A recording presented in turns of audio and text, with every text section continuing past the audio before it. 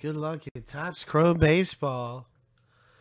In this filler, you get a chance to win and get in the break for seven something.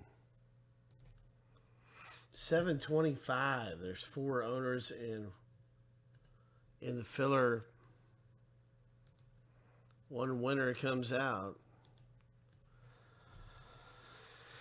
Let's find out the winner right now.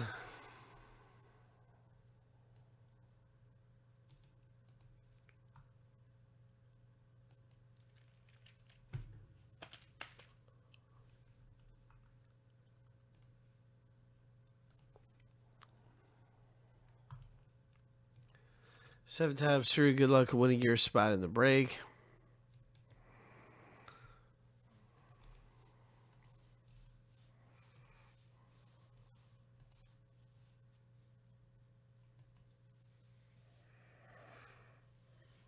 Seven times through. We're looking for the top name.